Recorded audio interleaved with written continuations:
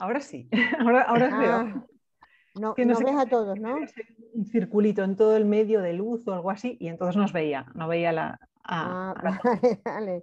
Bueno, pues encantada de, de hablar contigo, aunque sea a través de este medio tan, tan novedoso como se suele decir, pero bueno, que también nos ha venido a todos, ¿no? Hombre, es que si no, a lo mejor no nos podíamos ver, o sea que por lo Pues, menos. Ahí está, por lo menos podemos charlar un ratito sobre tu novela. Bueno, eh, yo creo que más o menos nos conoces a todos los que estamos aquí porque casi todos han interactuado contigo en, en redes, o sea que, Sí. pero vamos, mm, irán presentándose poquito a poco. Yo soy Pepa, bueno, y a mí ya me conoces. Sí. Y bueno, pues es un placer tenerte aquí con nosotros, ¿vale? Igualmente. O sea que vamos a, iba a decir despellejar tu novela, ándate, yo también. Pero bueno, Bueno, Ah. novela negra es, aquí se permite todo. aquí se permite todo, ¿no? Bueno, es que lo de despellejar no, pero lo de cortar y eso, pues quizá hubiera venido bien. Entonces, Antes bueno, de nada, la habéis leído todos, ¿verdad? claro, claro. Vale, vale, por si acaso no, alguien sí, no lo sí. hubiera leído. No, bueno, aquí eh, mm, primero, es- eso, esto se está grabando, ¿no? Porque los encuentros nuestros son muy naturales y, y bueno, en cuanto entra la autora, pues grabamos. Sí que, aunque hagas un pequeño spoiler, pues no pasa nada, porque yo creo que los spoilers, sinceramente, siempre vienen bien. Y, y bueno, Bueno. el final no. No, El final no se cuenta. eso sí que no, porque No, se estropea no, toda no. la novela. Geni- No, no, geni- Entonces, bueno, pues em, yo lo primero que me gustaría preguntarte es que nos cuentes un poco quién eres tú, cómo has llegado tú primero a escribir, primero escribir y luego ya nos cuenta lo que quieras de la novela. Vale, pues a ver, yo llevo en esto de la escritura mucho tiempo. Empecé, mi primera novela fue en 2015. eh, fue autopublicada. Yo tengo, además de Lágrimas de polvo rojo, tengo otras tres novelas autopublicadas. Eh, bueno, yo Me la verdad imagino en que Amazon, ¿no, María? sí, sí. Vale. Os cuento un poco la historia. Bueno, yo Sí. es que la verdad es que escribo desde que tenía 10, 11, 12 años. Siempre pues escribía microrelatos, cuentos, pues cosas de, de- de aquella época. Cuando tenía Ya. 12 años eran cosas de niño. Recuerdo que leía mucho. eh, los cinco me encantaban, pues eran todo novelitas y cuentitos en ese, en ese más o menos parecidas a las de los cinco. ¿no? Y bueno, pues siempre he tenido por ahí cosas tengo por ahí cosas todavía guardadas que ahora las miro y las leo y me hacen mucha gracia. No quiero decir, esto, el gusanillo de la escritura, igual que el de la lectura, siempre lo he tenido ahí. Siempre he leído mucho desde pequeña. Yo recuerdo que mis amigas siempre me decían, vámonos a jugar. Y yo decía, es que me quedo leyendo. Ya. y yo era la rarita, es verdad que era la rarita. Ahora cuando somos mayores me lo recuerdan, me dices, tú eras la rarita, pero es que mira, al final, ¿cómo has acabado? Claro, Ah, es verdad. Y bueno, pues eh, en 2015 mm, decidí, porque siempre había escrito cosas, pero más bien para mí, no, ni se me había ocurrido, ni se me había pasado por la cabeza pensar en publicar, porque además, entre otras cosas, pensaba que era imposible, creía que eso era... alguien te animaría a hacerlo, seguro. Sí, bueno, mm, la verdad es que me animé yo sola. Ah, bueno. leyendo, mira, curiosamente, leyendo, lo, lo he repetido varias veces, pero es que es verdad, eh, leyendo a, a Harry, a- la verdad sobre el caso Harry Keber, de Joel Dicker, no sé si la habéis leído, Sí, es una novela que me encantó. Y en la, al principio de cada capítulo hay un escritor que le da consejos a otro. No sé si, si os acordáis. Y eso me gustaba mucho. Como yo estaba siempre escribiendo mis cositas, pues yo tomaba nota y, y me, me gustó un montón. Y dije, pues, ¿por qué no? Me voy a animar, voy a, voy a escribir una novela. Y recuerdo que le dije a mi marido, voy a escribir una novela. Y mi marido me dijo, venga, pues venga, escribe, escríbela a ver qué pasa. Sin ninguna confianza, la verdad. Y me puse, me puse, me puse y la acabé. Y realmente no se me ocurrió ni presentarla a concursos, ni, ni presentarla a ninguna editorial, ni nada. Lo primero que pensé fue, bueno, ¿cómo puedo? Lo único que quería era sacarla a la luz y que lo leyeran otras personas, ¿no? Era el ansia ese del principiante que necesita que, que- le lean otra- otras personas. Entonces lo primero que, vi fue eh, el tema Amazon, que la verdad que para los autoeditados está muy bien porque. No te cuesta dinero, realmente es, mm, subes la novela, la tienes en papel, la tienes en digital y es, es muy fácil, la De verdad es que te lo han pone muy salido- fácil. De ahí han salido muchos autores de Amazon. Sí, sí, al, al final es que, a ver, es muy difícil que siendo nadie que nadie te conoce, llegar a una editorial y primero que te lea, porque ya. no es que tu obra sea buena o mala, sino que llegue a leer siquiera los primeros capítulos. Es muy complicado. ¿eh? Entonces, eh, bueno, ni siquiera me lo pensé, la, la autopubliqué. Eso fue en 2015, la primera novela, El color del perdón. Y la verdad es que tuvo un éxito que no me lo esperaba, porque era como... Me suena un montón. Sí, se llama El color del perdón. Espera, sí, un segundito y os la enseño, a ver si la tengo por aquí. Sí, es que me suena un montón, El color del perdón. No la leí en su día. ¿A que sí? Tú también, Pedro. Mira, mira cómo mola verla en el fondo. ¿A que sí? Cómo pasan los cromas en la tele. Qué bueno. Me las traigo todas. Vale. las tenía que haber tenido preparadas, pero mira. Bueno, es igual. Improvisando. Mira. A ver, es que como tengo el filtro, pues no sé si se ve. Ay. Se ve, se ve, se ve. Sí, sí, es que me sonaba mucho, me sonaba mucho. El color del perdón. Esta fue mi primera novela en 2015 y es verdad que, tuvo mucho éxito en redes. Al principio me costó contactar también con blogs literarios que quisieran leerla, porque como no era nadie, pues es complicado. Ellos están acostumbrados a que, o estáis acostumbrados a que llegue la editorial y os, os mande el libro por correo y tenéis un montón de lecturas. Claro. Uy, no sabes cuántas. Claro, entonces llega alguien que no conoces de nada, encima un autoeditado, que es verdad que hay muchísimas obras buenas autoeditadas, pero también, como no hay filtro, también hay otras que, la verdad que dejan que desear.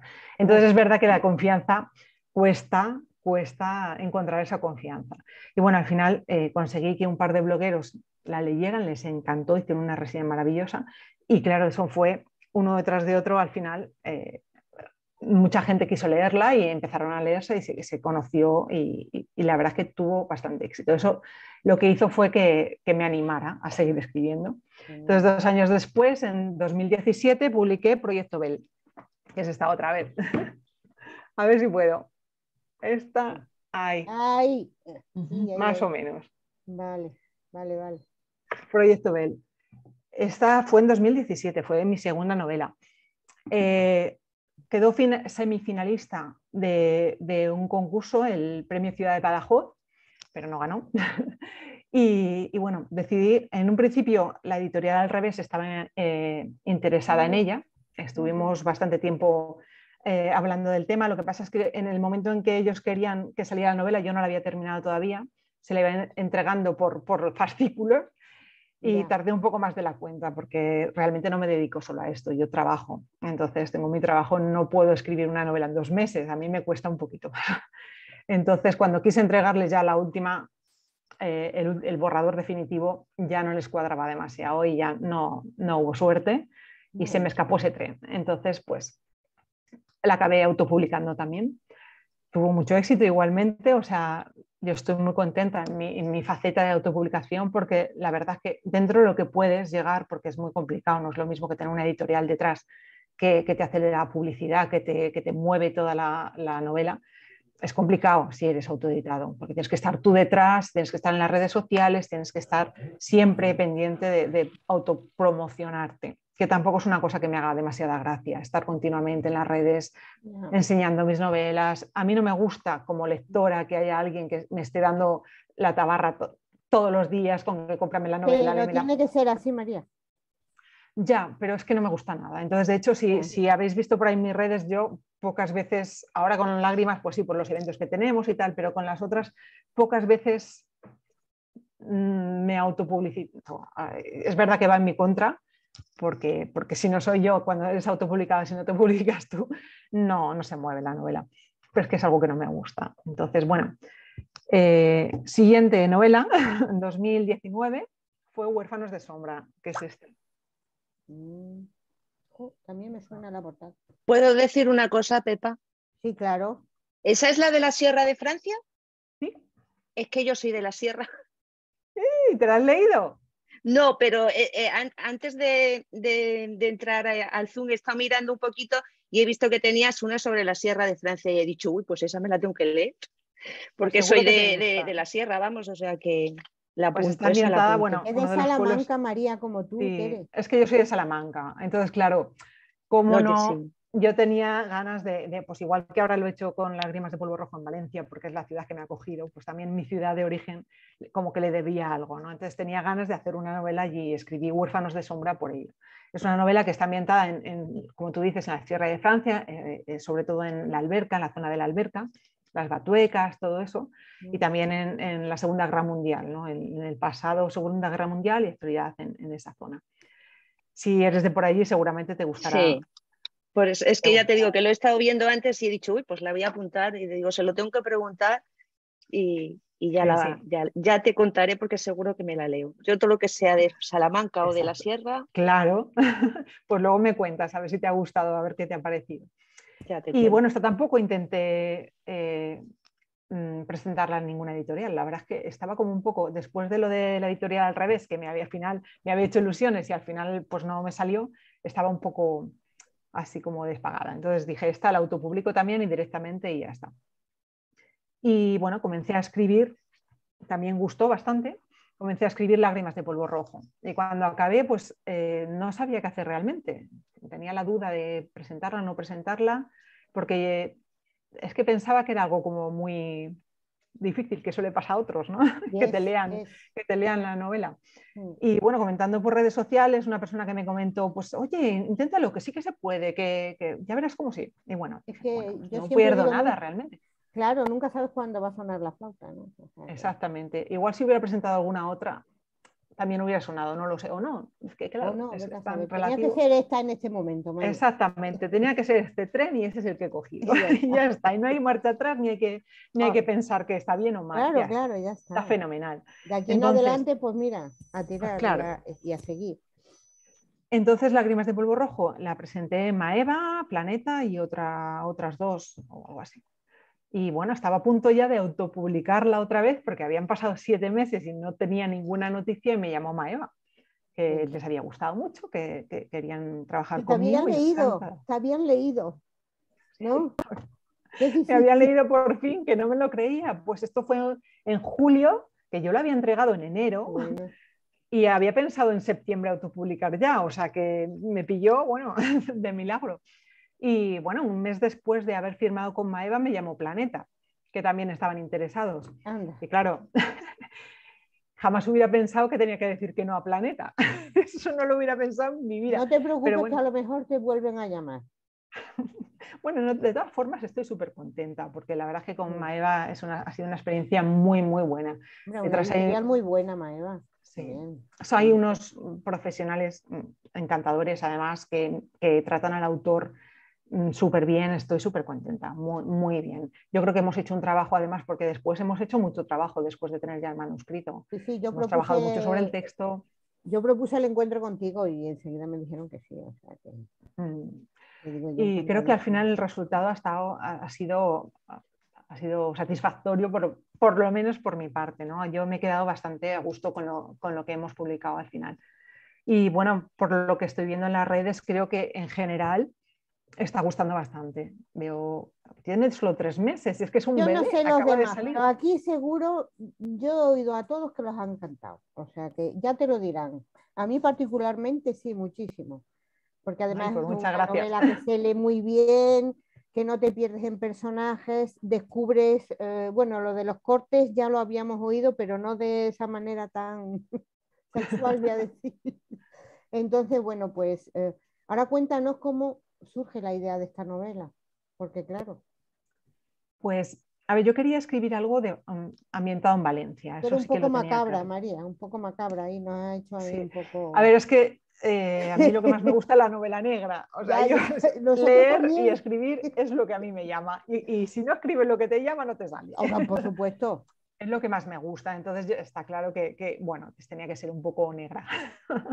es verdad que las otras, igual Huérfanos de Sombra, no están negra, pero bueno, es lo que me salió en ese momento, que también a lo mejor, no sé, lo que me apetecía, ¿no?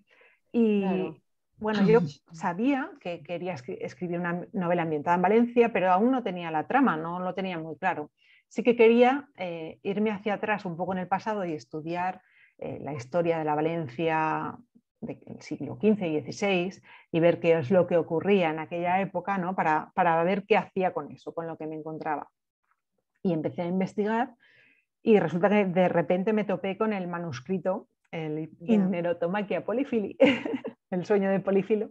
El Me innombrable. topé con en internet. Mm.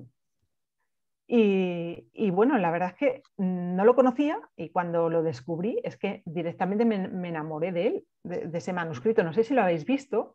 Está, mm, está gratuito en internet, o sea, tú puedes entrar y consultarlo entero.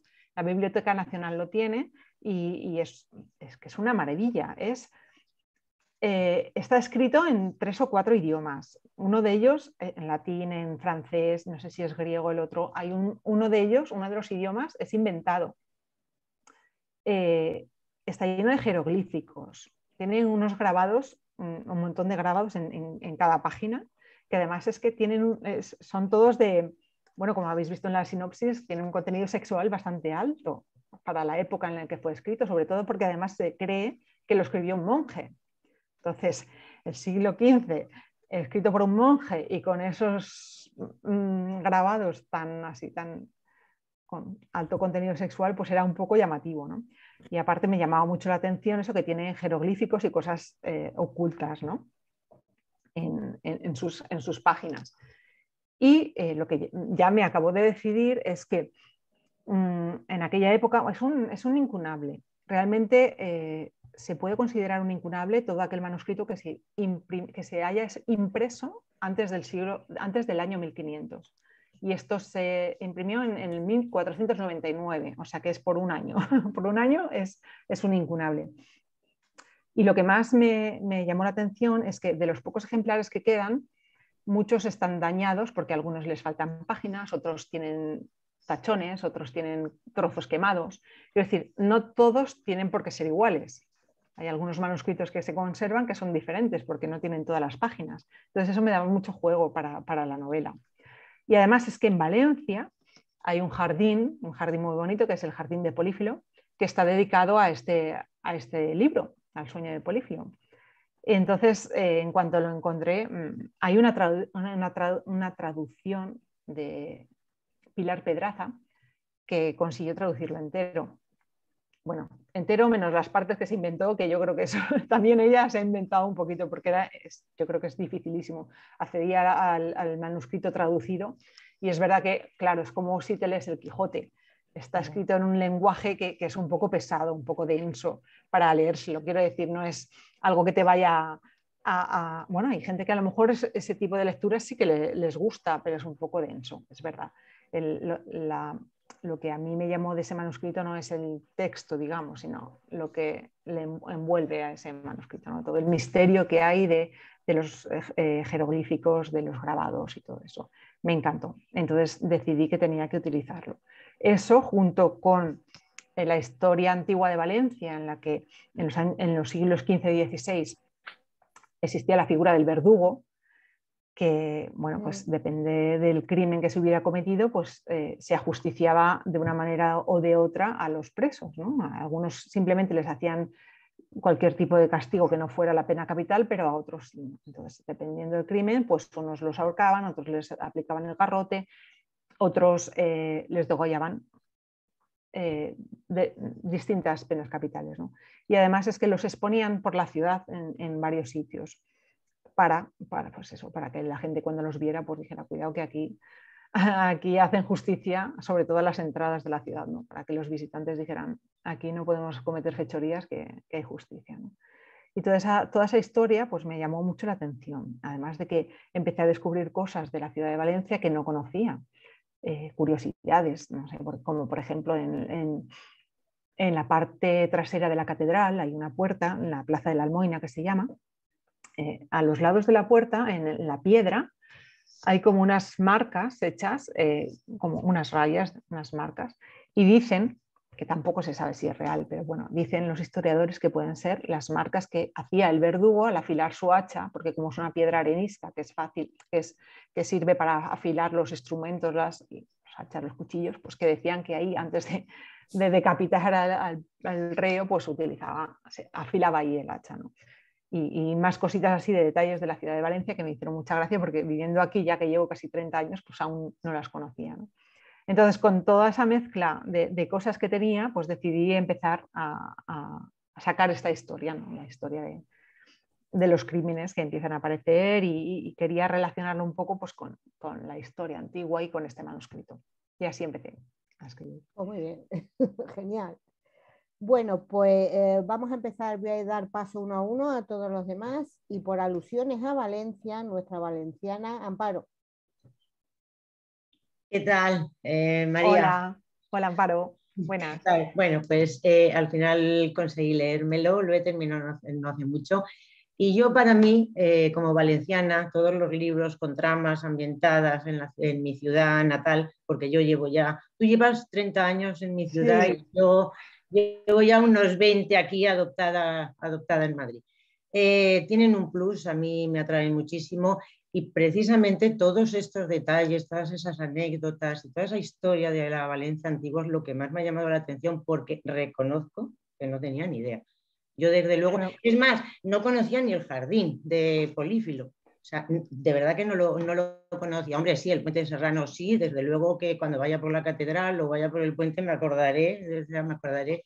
Eh, yo te quería, yo te quería preguntar, mm, vamos a ver, ¿cómo te has organizado? Según te has ido eh, documentando, eh, ¿te han ido surgiendo todas estas subtramas o lo tenías ya un poco claro de qué es lo que querías una trama principal con todas estas subtramas que van apareciendo por, por, la novela? ¿Ha sido pues mientras te, mientras te documentabas o ya tenías tú un perfil de novela estructurado? Un poco de todo. En principio, cuando empiezo a escribir, yo necesito tener un esquema. Soy un poco, empiezo como escritora de mapa necesito tener un esquema más o menos de lo que va a ocurrir eh, para organizarme, porque si no mm, me pierdo. Entonces, sé cómo empieza, sé cómo quiero que acabe. Por el camino tengo algo planeado, pero no todo.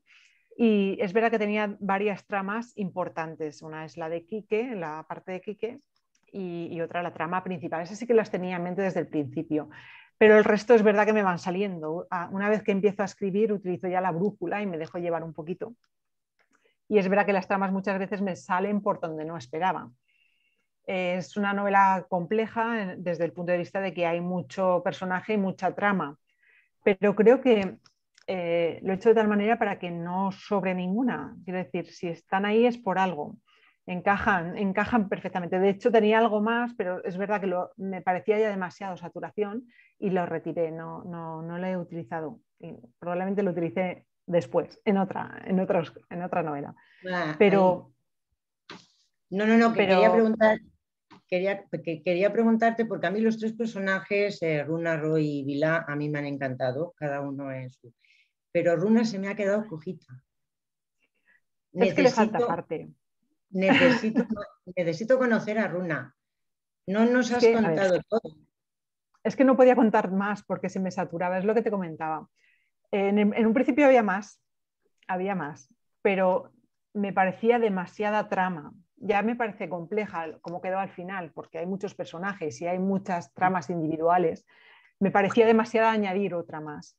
Entonces, eh, pues eh, al final del todo, sobre todo, cuando estaba ya prácticamente acabada, eh, decidí retirar esa parte y la estoy utilizando en una segunda que estoy escribiendo. cuando empecé a escribir esta novela no pensaba hacer una segunda parte la verdad. Nunca lo he hecho en ninguna de las otras novelas y en esta tampoco tenía esa idea. Pero es que me pasó eso, me quedé con ganas de más. Algunos personajes como Runa, le falta, le falta un poquito, porque es que, mm, pero es lo que te digo, no, mm, si lo meto me sobra. Eran demasiadas tramas. Y, Dejas caer su pasado, pero no nos lo cuentas. No, no lo cuento. y, y es que, claro, es que tienen tengo tanto en la cabeza que me daría para otras tres más. Te lo digo en serio, porque tengo en la cabeza la trama del pasado de Runa, lo que ocurre después, porque se queda un poco en el aire también lo que, lo que le ocurre con Klaus y con todo eso. Ahí se queda. Entonces también tengo más. Eh, el pasado también de, de, Roy. Y también se queda un poco en el aire. Mm, también necesito ponerlo. Entonces, no sé si me va a dar para una más o para dos más. Bueno, de momento pues, te las leeremos y te las leeremos igual porque a mí me ha encantado, o sea, eh, el ritmo que le has imprimido a la novela, sobre todo a partir de la segunda mitad, ha sido ya imparable, o sea, pero imparable. O sea que a mí me ha encantado. Eh, espero, espero poder leerte la segunda o la tercera parte de las que quieras escribirnos. De momento eh, una más y luego ya veremos, pero es verdad que, me quedan más cosas, entonces pues no te digo que no, no lo sé, es muy pronto, es que claro, es muy pronto todavía, pero, pero la idea es, la segunda seguro, ya estoy bastante avanzada y en ello estoy, me lo estoy pasando otra vez bien con estos personajes, es que además eran unos personajes que me gustaban mucho, que me divertí mucho con ellos y que quería seguir con ellos, me daba una pena tremenda decir, lo dejo aquí. Y como se me había quedado parte por contar, pues dije, Mm, voy a seguir. Además es que mucha gente, muchos lectores me lo han pedido. Espero que haya otra, espero que tengas más. y es verdad, es que falta, falta más. Y es verdad que el pasado de, Runa sí que tengo una historia, lo que no sé si saldrá en la siguiente. Es que, es que no sé, todavía no la tengo. Cuando la tenga acabada te lo digo. Ahora mismo no sé si me cabe. Porque claro, tengo el presente también de Runa. Entonces, sería darle demasiado protagonismo a ese, personaje con respecto a los demás si le meto todo el pasado y además todo el presente. Quizá, no sé si cabe en esta o en la siguiente. Pero sí, sí que está ahí, es verdad. Eso lo tenía pues, claro. Felicidades, porque a mí me ha, encantado. Yo, si luego podemos hacer otra ronda, eh, tengo también un par de preguntitas más, porque a mí la gorra roja me ha despistado mucho. Bueno, vale. Vale. Luego, si alguna no pregunta lo mismo. Bueno, si la queréis preguntar, da lo mismo. Yo ya pregunto la mía. vale, a ver, eh, nuestro periodista Oscar. Hola María, buenas tardes. Hola Oscar, buenas. Eh, ya hemos hablado por redes, o sea que reitero la enhorabuena. Yo soy... todos con María antes que todo. Sí, Sí, sí.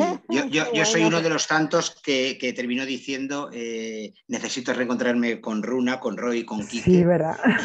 Y, la respuesta lo dejaba claro. Como, eh, yo voy un poco a preguntar casi lo que ha preguntado Amparo, pero un poco más allá. Quiero decir, no, no, no de otra manera, sino porque además ya sabéis, yo, eh, mi, obsesión por, la, por las estructuras, a mí me fascina la, creación en general, entonces mm, es inevitablemente me, detengo en estructuras y, las pienso. Entonces ya has contado cómo eh, fue naciendo la novela, has ampliado un poco más la, respuesta primera a Pepa con lo que Amparo te preguntó, pero es que a mí me, fascina eh, porque ahora que tanto se llevan trilogías, trilogías, sagas, series, venga usted lo otro, las precuelas, esto y tal. En tu caso, eh, yo creo que cuando uno, un, lector como nosotros y como tantos en redes y demás, que, que, lees tanto al, año y géneros tan distintos, pero que lees tanta novela negra, policíaca, porque nos entusiasma, pero como tú crecimos con los cinco, los tres investigadores, los Hollister y todos aquellos que investigaban en familia de Gloria, que, pero no veía yo a mi madre nunca investigando, pero mira por dónde con esas novelas, sí. y, entonces, y entonces, claro, lo llevamos dentro, es el género que nos tira de, un modo u otro, que luego tengamos eh, paradas en muchos. Entonces, cuando yo, yo al menos cuando llevaba, no te exagero, menos de 100 páginas, ya pensé, esto es un novelón al margen de, decirlo aplaudiéndote y, quitándome el sombrero, novelón en el sentido de extensión. decir, o sea, eso se nota que le ha salido un universo que necesita decir. Yo pensaba, esto tiene que tener una conclusión, pero esto no va a terminar aquí. O sea, es que era como decir, se ve, se ve. Entonces, ya has contado un poco cómo. Entonces, es lo que a mí me fascina. Eh, ¿Cómo fuiste dando forma y permitiendo que su universo se ampliara. Te hago la pregunta a lo mejor más concreta, acotándola, que también es algo que me interesa siempre mucho.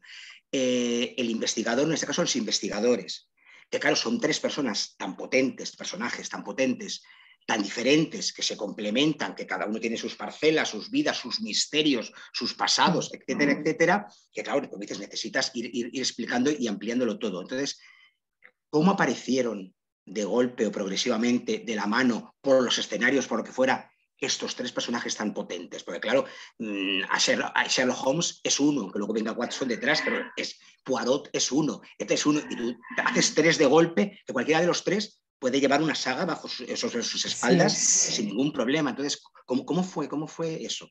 Pues mira. ¿Cómo fue el Big Bang? Yo tenía también otro tema que, quería tocar, que era el tema de los niños desaparecidos, porque estoy investigando sobre ese tema y es verdad que eh, es que te pone la piel de gallina, ¿eh? porque, eh, por ejemplo, el año pasado se llegan en España 5.500 desaparecidos, pero es que de, ellos la mitad eran menores.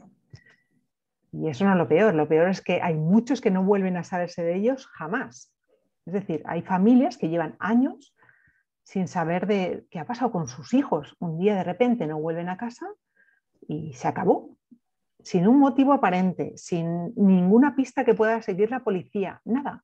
Y así años, durante años. Y lamentablemente lo que, lo que realmente llega a nosotros, los casos que se vuelven mediáticos son muy pocos. Hay muchos en la sombra que no conocemos y que es horrible. Dices, ¿cómo es posible? ¿Y qué ha pasado con, esta, con estos, sobre todo si son menores? Es que imaginaos la vida de esos padres que es que acaban con una muerte en vida, porque, porque eso de no saber es, es mucho peor que, la peor de las noticias que les puedan dar. Yo creo que es horrible. Lo pienso, me pongo en su lugar y siempre lo, he pensado y digo, yo no sé si podría superar esto, es, algo horrible. ¿no? Entonces, es verdad que sí que quería tocar ese tema. Cuando, cuando empecé la novela, ese era uno de los temas que quería tocar. Y bueno, pues te tocó a un personaje de los, de los que me comentas. ¿no? Y bueno, y, el tema de, de, Quique, pues lo mismo, también quería tocar ese tema, el, tema de, no quiero tampoco, por si acaso no digo nada, pero bueno. El tema. El tema. El tema de Quique también lo tenía muy claro. Runa ha ido un poco más a, a, Matacaballo. Tenía claro la idea de, que hubiera un personaje por ahí que, que le llamara la atención, pero no tenía una trama muy clara para ella. Ella sí que ha ido un poco con la brújula hacia adelante. Los otros dos personajes principales sí que estaban, más o menos tenía claro el tema que quería tocar y, qué era lo que tenía que tener detrás, el peso que tenían que tener esos personajes. Es verdad que, en todas mis novelas mm, los comentarios que suelo tener de la gente es que los personajes son bastante potentes, pero es que creo que es uno de los puntos más importantes de la novela. Es que yo creo que es que aunque tengas una trama mm, sosa, como los personajes sean buenos, sean potentes y sepas llevarlo, es que el libro te gusta, la novela te gusta, porque me ha pasado eh, leer novelas con una trama que dices, bueno, pues es que la trama tampoco tiene mucho, es una trama normalita, pero esos personajes con sus vidas y sus historias por detrás me han seducido de tal manera que he dicho, pues qué novelón.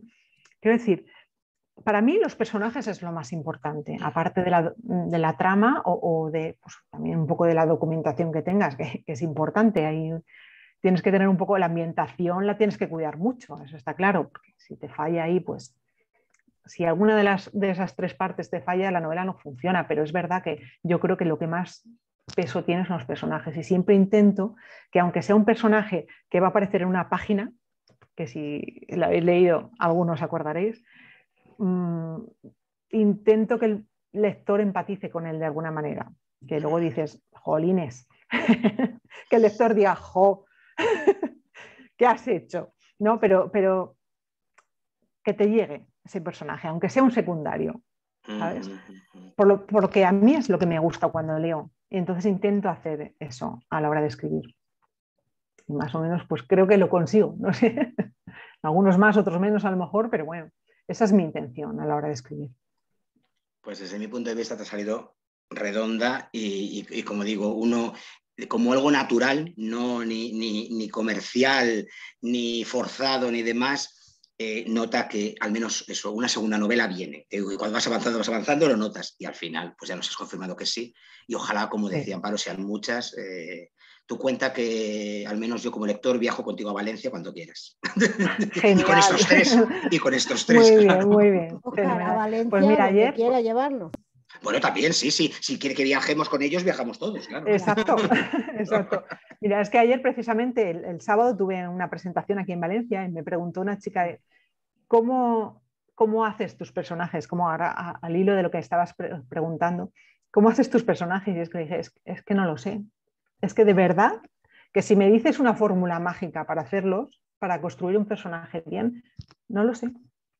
Y le puse el ejemplo, digo, es que es como mi madre, mi madre cocinaba fenomenal y me decía todas las recetas y todos los ingredientes y los pasos que tenía que, hacer, pero al final hacía lo mismo y no me salía nunca igual, igual de bueno que ella. Y ella me decía, hija, pues que a lo mejor no cocinas bien, pero bueno, otra cosa buena tendrás. Y es que es verdad, es que, ¿por qué le salía a ella mejor haciendo lo mismo yo?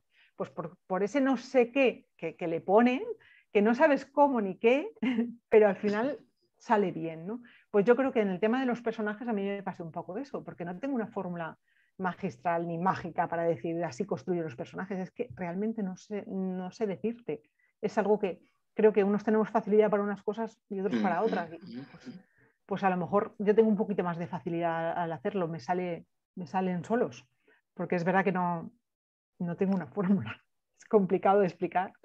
Bueno, te salen solos, pero trabajando. sí, a ver, yo, antes de empezar, mis personajes tienen mucho trabajo. Antes de empezar la primera línea, ya llevo, mis personajes tienen toda una vida ahí detrás escrita en su ficha. Quiero decir, no es algo que, se haga en dos minutos ni, sin pensar, está pensado. Pero ese no sé qué que tienen, eh, no te lo puedo explicar. No sé, no sé cómo, cómo lo hago, la verdad. Pues genial. Antes de seguir, vamos a hacer lo que llamamos la foto de grupo, que cada uno con su libro. Tú también, María. Yo también, vale. claro. A ver si sale. Sí, ahí, ahí, quieta ahí. Ahí, ahí. Ah, ahí, ahí. Ah, a ver, otra, momentito. Ya está. ¿Ya está? Ya está. Bueno, es que es la fotografía que nos hacemos. Sí, luego la subís. Encuentro, bueno, si tú nos has visto. O sea, bueno, el año, el año pasado, ya vamos de camino, pero el año pasado, María, fueron 53 encuentros. O sea que. O sea, una por semana. Uy, os no, una semana. No, hay una semana tuvimos tres. Uh, madre mía. Sí, sí. Iba a decir, oh, yo pues tiene más, mérito, tiene más mérito eso porque eso en, verano no, en agosto al menos no hay ninguno. es, verdad, es verdad, pues, es verdad. que leéis un montón. Mucho, mucho. Los tengo, a mí me dicen que no, dicen, nos tienes esclavizado. Sí, pero, pero una esa esclavitud gusta. Ojalá me siguen, me siguen, o sea que les gustará, digo yo. Claro, eso digo yo. bueno, seguimos, Belén. Hola María. Bueno, pues yo, para que veas lo que me gustó, yo leí tu libro en, dos vuelos de avión, no muy largos, un medio libro a la ida y medio libro a la vuelta. Alemania... de, no muy largos, ¿eh? no, porque era Alemania, no, no. Ah, bueno, Eran tres horas, tampoco lees las tres horas todo el rato porque que si no sé qué, que si no sé cuántos, y, ahí fue, o sea, porque, y me dio una rabia no leer entre medias, pero es que no, no, pude. Me quedé, bueno, me ha gustado muchísimo. A mí cuanto más negro, renegro, más me gusta. Ese es mi, debo tener algo oculto por ahí que ni yo misma conozco. Todos tenemos algún puntito. Sí, Lo, mío debe ser muy fuerte. Bueno, eh, esa escena de los tacones que se oyen en la calle, a mí ya me dijo, aquí va a haber algo. Y además es que daba, queda feo decir palabras, pero daba cosa, ¿eh? Daba cosa. Eh, lo, muy, muy, visual, lo haces muy visual y es verdad que una en, su mente se imagina ese sonido en ese silencio y se imagina que algo va a pasar. Todo lo del mundo bondage y todo lo del mundo este del sadomaso, eh, ¿cómo te has informado? Y de estas, eh, de estas bueno, clubs, vamos a decirlo así, donde eh, se produce ese mundo. Yo es que es un mundo que no conozco en absoluto nada. Sé que existe pues, por las novelas y por las cosas que ves, pero poco más. Soy un poco pavisosa para, eso.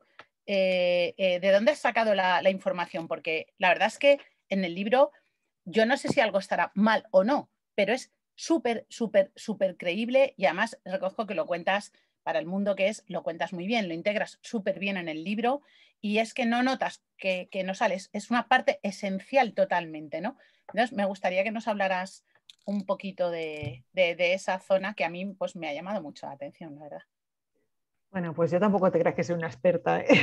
Hombre, a ver, si lo eres, no lo vas a confesar, querida. tampoco lo confesaría, pero es verdad. Quería tocar ese tema.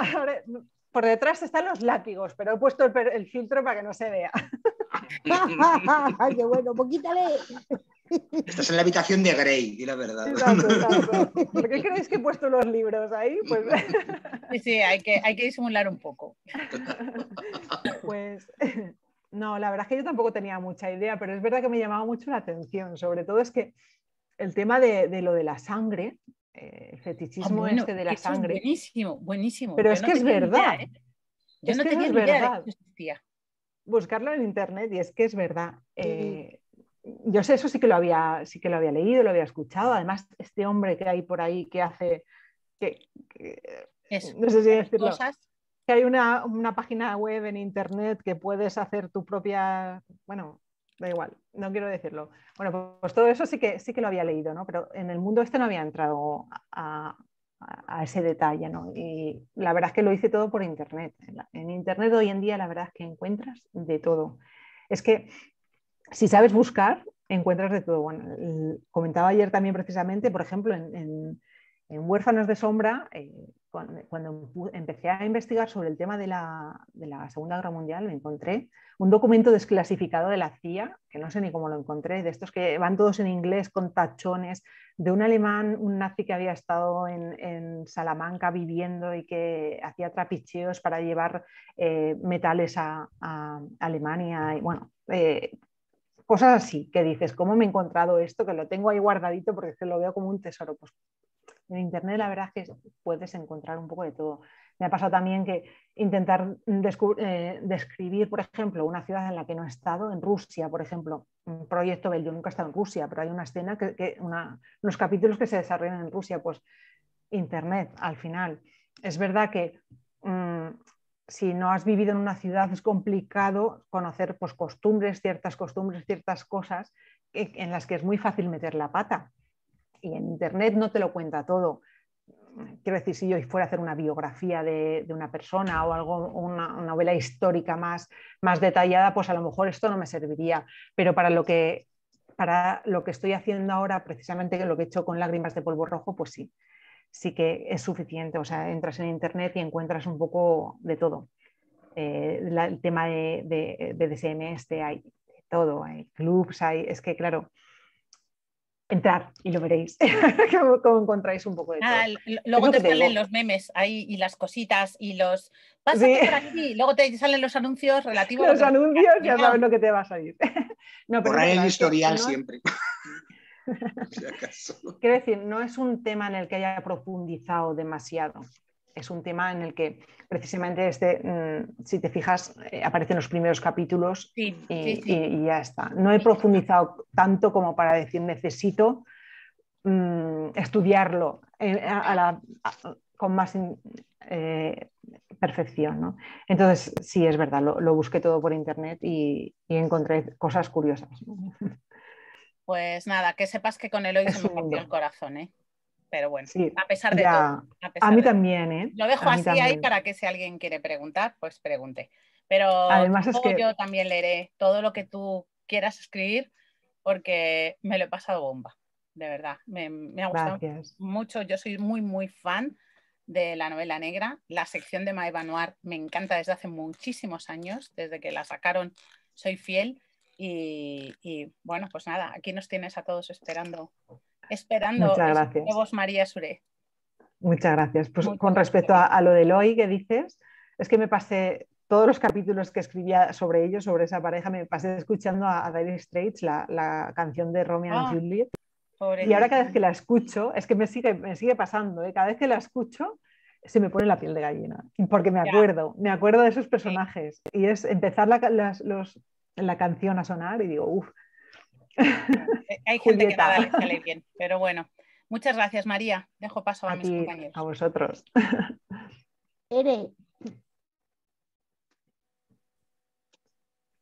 Hola, buenas tardes, María. Hola. Hola, bueno, ya te, ya te he saludado antes. Em, yo, igual que Belén, yo la, la, he disfrutado muchísimo. Me ha durado también, además, como he estado de vacaciones en agosto, yo creo que en dos días también me la leí. Y, Luego, cuando iba leyendo, iba notando las pinceladas de Salamanca, decía, ay, qué bien, Salamanca por aquí, Salamanca por allá. Eh, yo te haría muchísimas preguntas. Ah, estabas hablando ahora de, de Eloy y hoy le voy a quitar la pregunta a Vela. Hoy te voy a preguntar yo por la historia de amor de Eloy y Julia.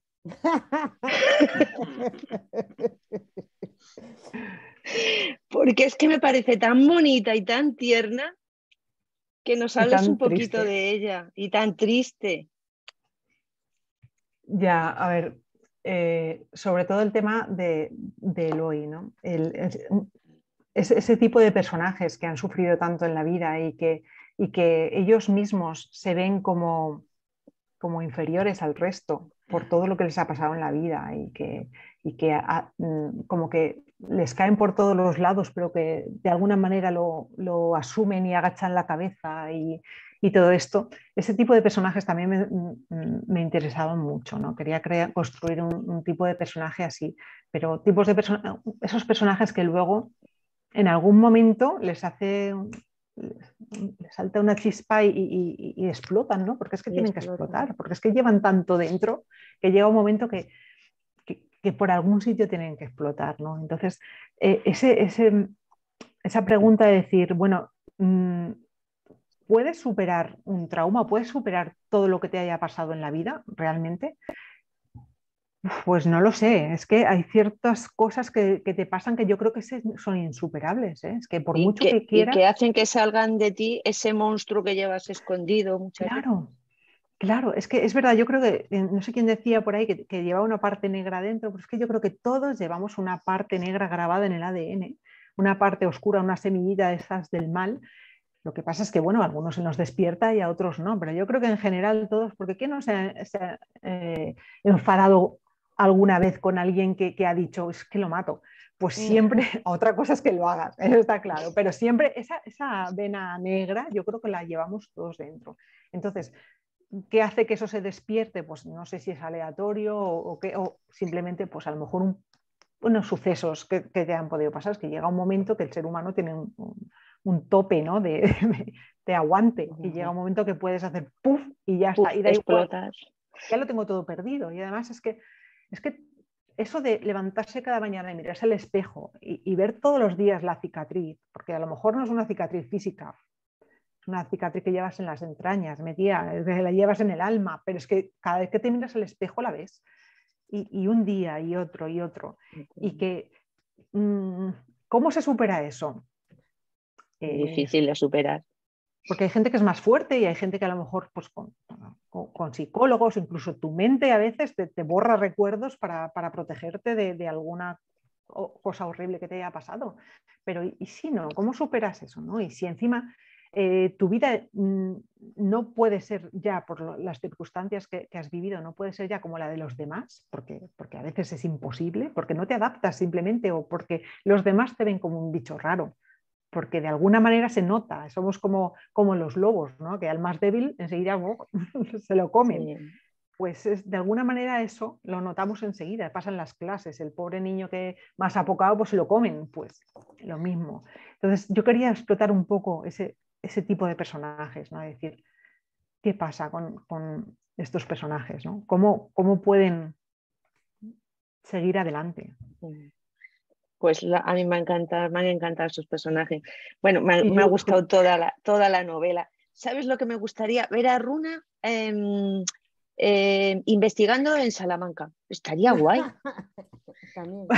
Mira, pues piénsalo un poco, procésalo y dices, mira, pues sí, puede por ahí en la universidad. Y cosas que hacer algún viaje. La puedes llevar allí. Que yo también vamos de viaje a Salamanca todas, yo creo.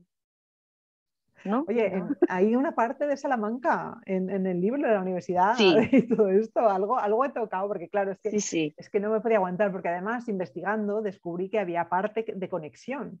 Entonces dije, oye, es que está, vamos, me lo han puesto a huevos, es que lo tengo que soltar, lo de Salamanca, lo tengo que decir, porque... Sí, sí, y además en la reseña que, que hice tuya lo puse, digo, es que además vienen cositas de mi Salamanca y esa a mí ya me gana por completo, claro. Sí, sí. Pues enhorabuena y muchísimas gracias por una historia tan, tan fantástica y que yo voy a buscar la, la, novela de la Sierra de Francia y me la voy a leer y después todo lo que venga también. Vale, genial. Muchísimas gracias. Gracias. Ana. Ana también tiene un fondo ahí también. De colorines. Hola. Aparece Cristina en el desierto. Sí, es verdad. estoy eh, tarde de otoño. Ahora, como dicen, como dicen ahora, las candeladas. Esto antes se llamaban atardeceres rojos, ahora son candeladas. Pues, pues eso. Estás ahí en la playa, Agustito, hombre. Yo me gustaría. Me tengo que conformar con, la, con las fotos de la playa. No, no hay más a estas alturas. pues nada, yo la verdad que he disfrutado muchísimo, muchísimo con la novela. La verdad que me ha, me he leído súper rápido. Vengo de un parón lector importante de hace tiempo que me costaba muchísimo ¿eh? centrarme en las historias, que me, las novelas me engancharan. No me enganchaba nada. Y bueno, pues la verdad que el, que una novela me haya enganchado esta mañana y me la haya trajinado en dos días, o sea, me, me ha dado una alegría que no te puedes imaginar. Esto de recuperar las ansias lectoras es algo maravilloso. Y bueno, la verdad que darte la enhorabuena. Me ha gustado muchísimo, muchísimo por varios motivos. De entrada, por esas, todas esas tramas que aglutinas ahí con tantos personajes.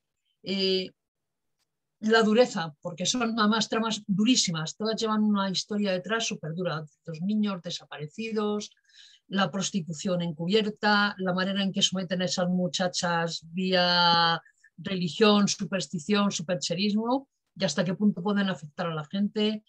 Eh, hablas de maltrato, hablas de muchísimas cosas sobre todo hablas de gente muy infeliz, porque a pesar de que, de que hay aquí, siempre se distingue entre buenos y malos, aquí tanto los buenos como los malos tienen detrás una mochila emocional pesada y, durísima de, llevar. A mí el personaje de hoy, pues es que me ha dejado el corazón en los huesos, porque, bueno, porque dices, ¿cómo alguien puede tener tan mala suerte en la vida? ¿Cómo alguien puede ser tan infeliz en la vida? Pues bueno, y luego cuando miras, cuando conoces a un personaje y miras a tu alrededor, te das cuenta de que los hay reales y muy reales, con semejante, con semejante eh, recorrido vital como el de este hombre. Me ha, me, ha, me, me ha, encantado, me ha dado un pozo de alegría esos breves instantes de felicidad que tiene con Julia, los dos chicos de rojo, esa playa que dices, bueno, por lo menos, yo qué sé, algo es algo. Y a mí un personaje que me ha, llamado muchísimo la atención. Rodri me ha encantado, o sea, me declaro fan absoluta y total de Rodri, me encanta. Un personaje que me ha llamado mucho la atención es Klaus. Un personaje oscuro, pero que tiene ahí un fondo que nos deja ver con Runa, ¿eh? que yo me voy a esa parte emocional un tanto más romántica, entre comillas, si Klaus puede ser romántico y Runa puede ser romántica, eh, que me ha llamado muchísimo la atención. Ese final que le das a Klaus con ella, ahí me ha dejado perpleja.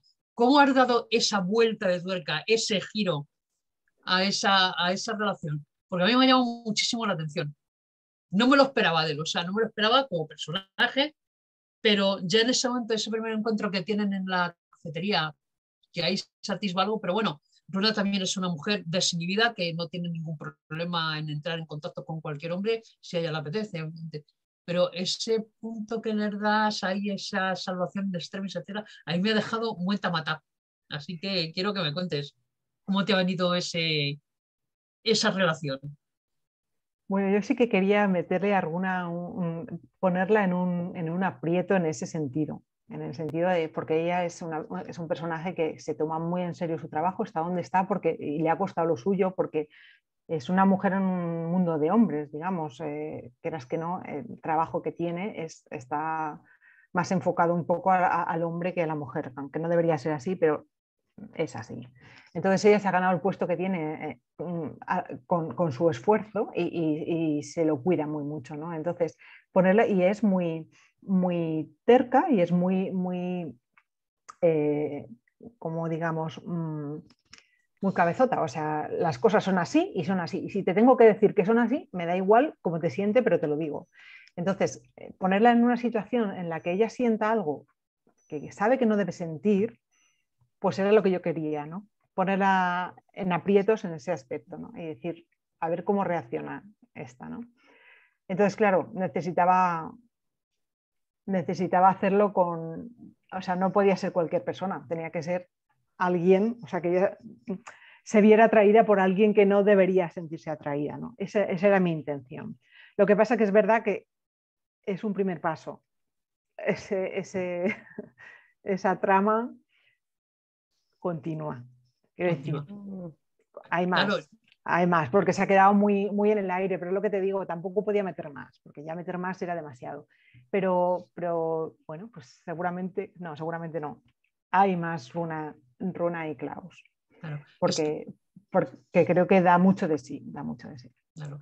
Es que vas a meter un personaje, a mí, por ejemplo, Klaus es un personaje que me ha fascinado desde el primer momento porque tiene sus zonas más blanquitas, más atractivas y sus zonas muy oscuras. O sea, es hmm. un mafioso. Un mafioso con en palabra, o sea, en mayúsculas, vamos. Es un cabronazo, es un asesino, pero luego tiene esa parte que ves a la hora de, tratar o proteger y que dices, a mí me, me, descuadraba, me descuadraba mucho el personaje, mucho, pero a la vez me atraía muchísimo, me resultaba, se me hacía muy, muy atractivo. Si te das cuenta, el pasado de, Klaus tampoco es fácil. Tampoco es... El pasado que tuvo Klaus, eh, ¿dónde le va a llevar? Es que, claro, ¿dónde va a acabar una persona así, un niño como él? ¿Dónde puede acabar? Es que lo más fácil es que acabe como acabó, donde acabó y haciendo lo que hace. Pero bueno, a lo mejor realmente es, que no es una decisión ser así, es que es la vida que te ha llevado por ese camino y ahí estás. Entonces, eso no quiere decir que, por supuesto, depende de tu personalidad y depende de, cómo seas, pero este personaje yo quería también eso, ¿no? Que fuera, que hubiera llevado una vida que, que, al final te hace ser como eres, pero que en el fondo, pues tienes un corazón. Ahí tienes algo, ¿no? Que, no que, que si tienes que matar a alguien lo matas, pero en el fondo hay cosas que, sientes, ¿no? Sigues sintiendo, porque al final es que somos todos personas. Yo creo que todos, habrá, gente que no, que sean fríos, calculadores y asesinos y, que les dé igual todo, que no empaticen con nadie. Pero ¿por qué no puede ser una persona que en el fondo no sea mala persona o no sea, pero la vida te ha llevado por, unos lugares que te hayan enseñado a hacer, que la vida es así, que te hayan enseñado a, a pensar que tienes que ser así o que la vida es así. Y también por propia supervivencia, porque viviendo en, ese ambiente, al final, pues es lo que comentaba antes. Si eres un corderito entre lobos, acabas, ¿no?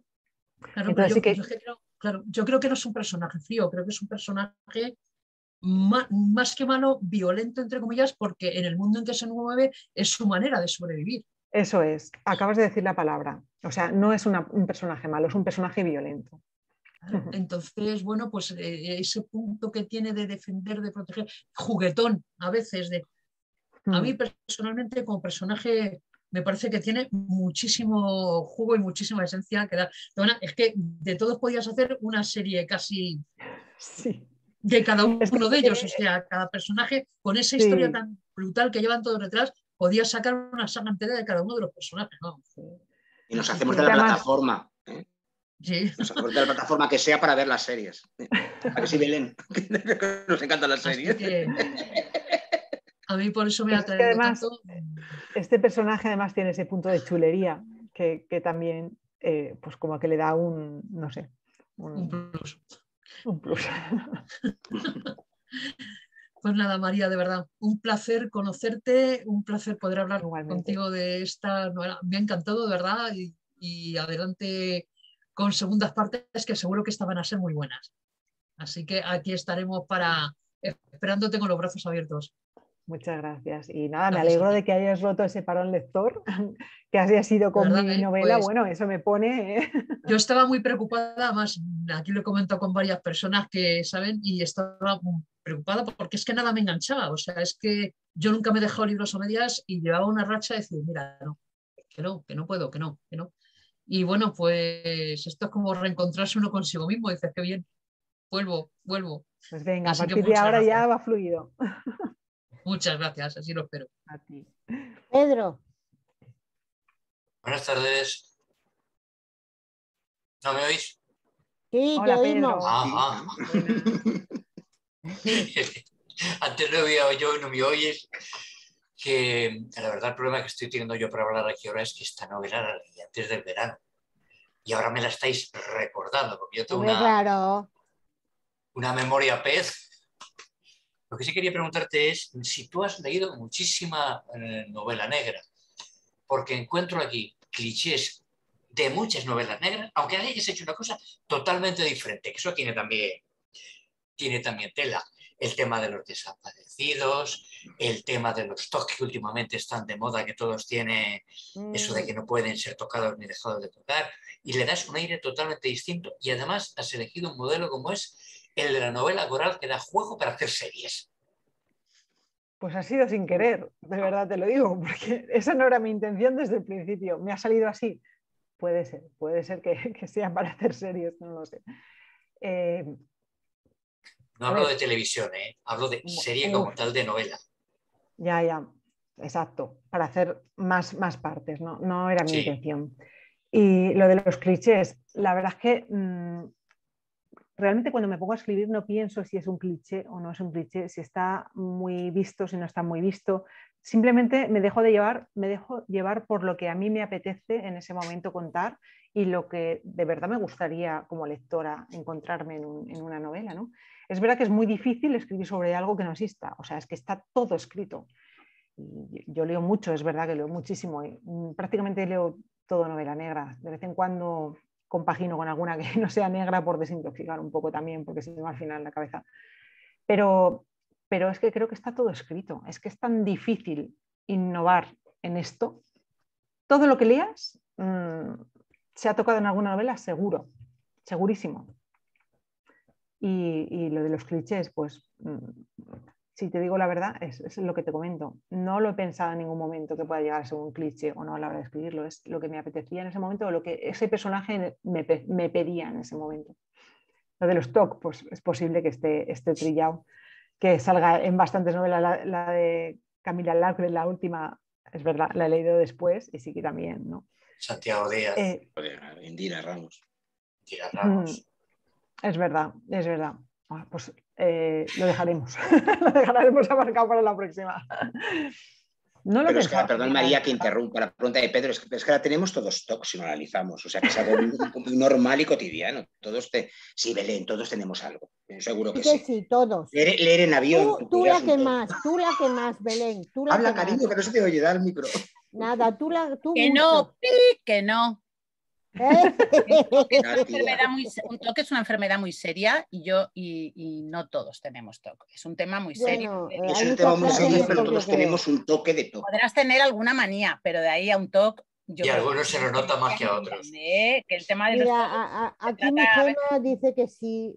Mi Gema que, que es un poco más experta. Pues yo no tengo, tengo manías, punto, pelota. Bueno, y algún toque que otro, ya verás.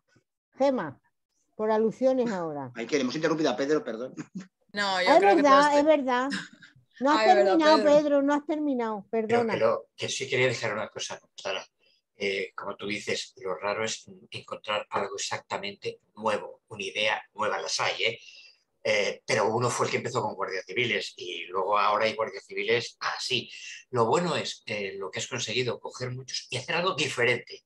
Y eso sí lo has conseguido. Como por ejemplo, ponernos un Valencia que se muera de frío. Es que también lo es. También lo es, ¿eh? Sí, pero no sí, sí, también lo es. Pero también lo es. Tú, si estás acostumbrada al Valencia del verano, aquí hace mucho calor, pero tú aquí vete en enero, febrero y verás la humedad y el frío que hace. Toda la humedad se transforma en frío. Dame, Doy fe, doy fe, ¿eh? doy fe, Pedro. Sí, sí, que dame los 0 grados de Madrid a 5 o 6 grados de Valencia hay color. pero, da igual, es que la humedad aquí no es lo mismo. Es que cuando hace frío y hace humedad, hace humedad, ya te puedes abrigar. No es lo mismo. Yo soy de Salamanca, ¿eh? pero aquí he pasado más frío que en Salamanca. por, eso, por eso digo, por eso digo. Lo que pasa es que, claro, estamos acostumbrados al último verano, que parece que el frío no, ha existido ya nunca, que después del último verano de, calor esto ya no, no, vuelve, pero no, sí, aquí es verdad que yo he pasado mucho frío, por, más que nada por la humedad. Y sí, sí que, sí que es cierto. Lo que pasa es que no quería tampoco ambientarlo en el típico Valencia del sol, del calor. Pues a lo mejor en otra, en otra de las novelas que escriba de Valencia sí coincide. Pero, pero sí, esa parte también existe. Y enhorabuena por publicar en una editorial. Gracias, gracias. Estoy muy contenta, la verdad. Sí, ha, pasado tiempo desde, desde la primera que te leía, mucho tiempo. Pues sí, sí, 2015, o sea que he tenido siete años para... sí, pero he visto que la reseña que hice fue del 16. Bueno, pues la cogerías un año después, pero sí, sí. Mm. Bueno, ha pasado tiempo desde entonces, pero, pero bueno, es que es una trayectoria también. Probablemente a lo mejor si no hubiera escrito lo que escribía antes, a lo mejor la editorial tampoco se hubiera interesado de la misma manera en esta, porque no sé, es como tener una trayectoria con la que rompes mano y haces, no sé. Si te sirve de ejemplo, Eva García Sainz de Urturi, que ahora vende lo que no están los escritos, empezó con la saga de los longevos y empezó autopublicada. Hmm, mucha gente ha empezado así. Y, autopublicada, Pedro, cuando, cuando entonces no había ni Amazon España, que era Amazon Estados Unidos. O sea, que es más complicado. Entonces tenía ella que pedir los libros a Estados Unidos y que se los mandaran aquí, no te los pierdas. Eso es más complicado aún. Pues ahí empezó, sí, o sea que. Bueno, sigue Gema, que al final he votado dos veces. Hola María, encantada. Hola. Pues sí, todos tenemos manía, pero espero que ninguno de verdad tenga un toque, porque es bastante complejo. Tu novela me ha encantado, hay muchos matices, ya hemos creo que destacado casi todo lo que más me ha gustado. Lo primero que me llamó la atención fue la historia de los niños. Es más, dejé el libro y me fui a internet para ver la historia de aquel niño que dibujó el rostro de Jesús o el que desapareció. Es que de repente fue como un bombardeo de información y eso que yo era pequeña. Y eso, eso es lo que hizo lo primero tu libro, fue abrirme esa, caja de, recuerdos.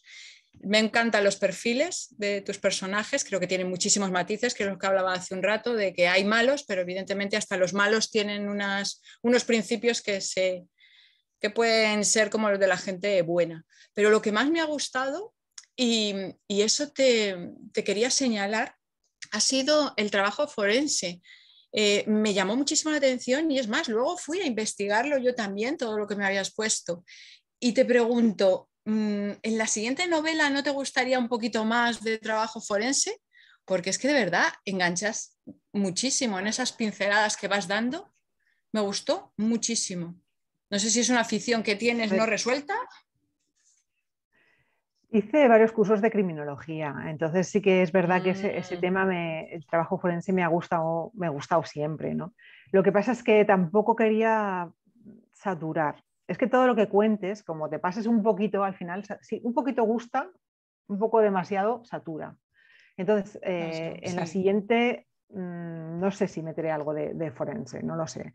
De momento no hay, hay, hay algo, pero quiero decir, a lo mejor no con tanto detalle.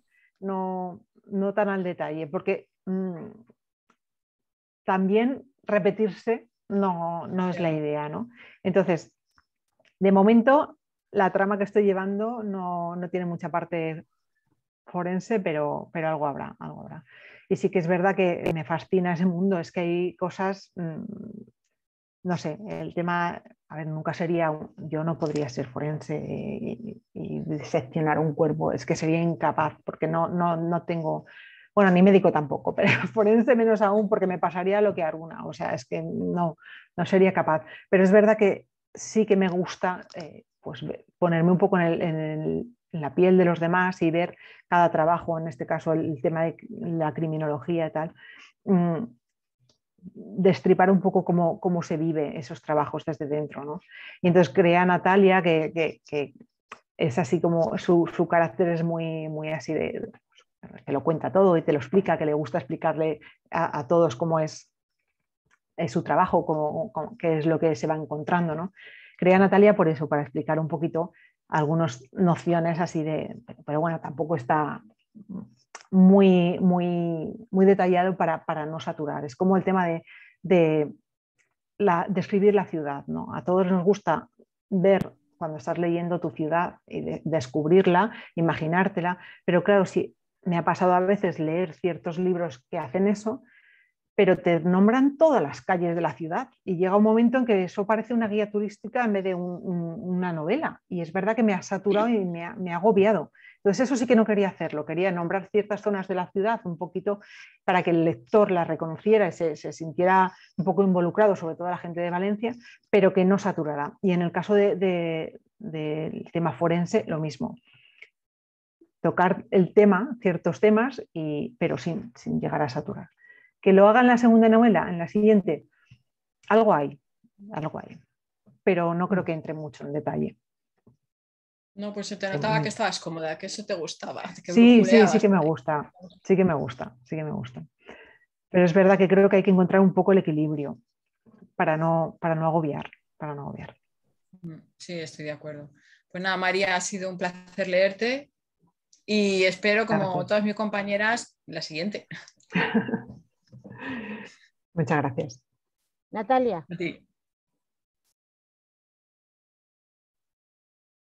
Hola. Hola, por aquí. Hola, buenas. Pues yo cuando vi que Natalia era la forense dije, ¿cómo mola? sí, porque es un tema que me gusta mucho, me encanta la novela negra, igual que muchos compañeros de aquí. Y yo he disfrutado muchísimo, muchísimo esta novela.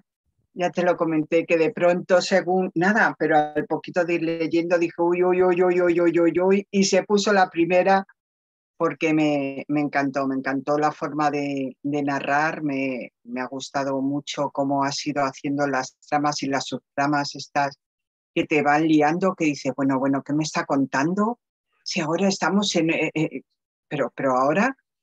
Y me gustaría que nos contaras cómo ha sido lo de eh, sacar el tema del Alzheimer eh, en las empresas estas ahora de, biotecnología que están ahora ahí tan de moda y todos queremos saber la fórmula mágica de resolver todo en, tanto en los cánceres como en pues eso, eh, investigación de, la longevidad. De, sí, de la longevidad. Sí. Y, y sobre todo el Alzheimer y tal, me pareció muy duro el, la trama y me gustaría cómo se te ocurrió, cómo se te ocurrió este tema. Vale, pues es que eh, yo siempre tengo temas por ahí pendientes, como el tema de los niños que os comentaba antes, el tema del BDSM que quería tocarlo, pues otro de los temas que quería tocar en algún momento era el tema farmacéutico. Es que es un tema muy complejo, porque si te pones a investigar es verdad que da un poquito de miedo también, ¿eh? y no quiero parecer aquí un, confabulaciones ni nada por el estilo, pero es verdad que mucha gente dice que son, tienen tanto poder las farmacéuticas en, el mundo, que es verdad que mucha gente dice que son las que de verdad mueven los hilos a nivel mm. económico, a nivel político, porque tienen un poder económico bestial, ¿no? Y investigando también, pues eh, encontré libros de, varias personas, científicos. Había un, hay un científico que estuvo más de 30 años trabajando en una farmacéutica, ha escrito un libro ahora, y no recuerdo el nombre, la verdad. Y este decía que, ahí hay detrás lo que no vemos, hay una corrupción increíble. Eh, desde el momento en que los estudios que se hacen y que se publican, por ejemplo, nunca se publica un estudio que haya salido mal, se publican los éxitos, no se, no se publica ningún fracaso. Eh, después eh, hay una sobremedicación de la población. Decía que, las, farmacéuticas matan a más gente que los carteles de las drogas. ¿Por qué? Porque, claro, les interesa que haya una sobremedicación, porque cuanto más mediques a la gente, sobre todo en temas eh, psicológicos, de ansiolíticos, medicamentos para dormir, todo este tipo, este tipo de, de medicamentos se está medicando en exceso. Y es verdad que está ahí el tema, pero está como encubierto de alguna manera porque, porque tienen tanto poder que, nunca va a salir a la luz y si sale a la luz se va a tapar. Entonces era algo que, que me apetecía sacar por eso. Bueno, simplemente tampoco es algo que haya profundizado mucho en ello. Y esto no tiene nada que ver ni con antivacunas ni nada de eso, porque no, no, no, es eso. Por ejemplo, las antivacunas tampoco estoy de acuerdo con ellos, porque no tienen ni, no, no les veo el sentido. Es decir, no, no es esto, va mucho más allá. Es, es decir, ¿qué puede hacer una, una organización, una empresa, las, las empresas farmacéuticas con el poder que tienen ¿qué puede llegar a hacer? ¿no? Podría llegar a hacer cualquier cosa. Eh, eh, cuando te mueves a ese nivel, transgredir la, ética, yo, creo que es muy fácil. Entonces sí que quería tocar ese tema. Y bueno, se me ocurrió el tema del alceo, el tema de buscar medicamentos. Es verdad que, existe. O sea, hay muchas empresas que se dedican a intentar encontrar una molécula contra una enfermedad concreta y cuando consiguen encontrar algo se lo presentan a las farmacéuticas, las farmacéuticas les compran ese proyecto, si les parece viable, se lo compran y claro, ganan muchísimo dinero. Entonces, cuando hay dinero de por medio, ya sabéis lo que pasa, que somos, el ser humano es así. Cuando hay tanto dinero de por medio, al final acabamos corruptos la mitad. Y, es verdad, y quería, quería un poco mostrar ese, esa, faceta de, la sociedad, ¿no? de decir, el poder de ciertas empresas que, pueden al final hacer lo que les dé la gana sin que te des cuenta o en tu cara, pero realmente no te das cuenta, ¿no? no porque lo tenemos delante, pero bueno, pues. yo estuve en, un ensayo, estuve en un ensayo clínico por el tema de la obesidad y estuve tres años metida y, entre la cantidad de formularios que te hacen firmar, eh, los compromisos de tal, eh, controles mensuales, o sea, sí, la, verdad que hay mucho detrás. Y cuando tú quieres saber realmente de, bueno, y esto, a mí que no me ha funcionado, mm, me cuentas, bueno, ya te mandaré un informe, ya, nunca llegó ese informe.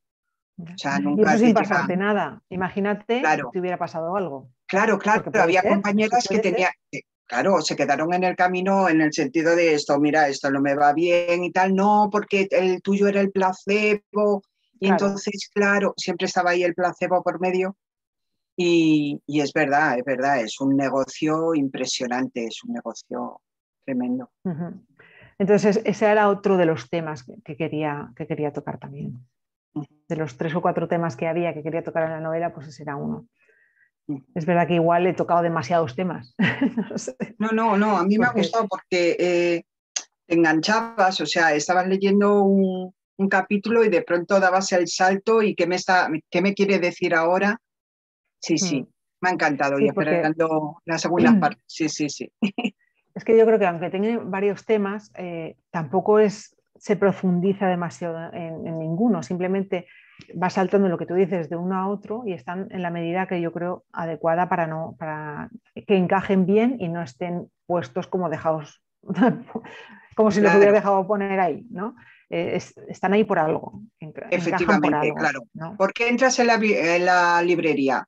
Algo hay. ¿Por qué me estás hablando de este pobre que está en la puerta de la iglesia? Algo hay. O sea, sí, sí, muy bien la historia. Por ejemplo, el tema del vudú de las prostitutas es que mm. existe. Es que, de verdad, cuando me puse a, buscarlo, es que había, hace poco había una noticia, y hace el, año pasado algo así, que habían desmantelado un prostíbulo con todas las prostitutas nigerianas que estaban, pues eso, exactamente así, que estaban mm, todas eh, eh, atemorizadas porque les hacían vudú. Y yo decía, pero vamos a ver, en España en, el siglo que vivimos, es que sí, es que existe. Sí, sí, sí. Hay veces que, que, lees una novela negra, y bueno, negra sobre todo porque son más espectaculares en ese sentido, pero que lees una novela y dices, madre mía, ¿cómo, ¿cómo, me pones esto que no es creíble? ¿Cómo que no es creíble? Es que lo que te cuenten te lo tienes que creer, porque la sociedad al final, es que es lo que pasa. Yo no sé si os acordáis en Valencia, hace cinco años ha, ha sido ahora.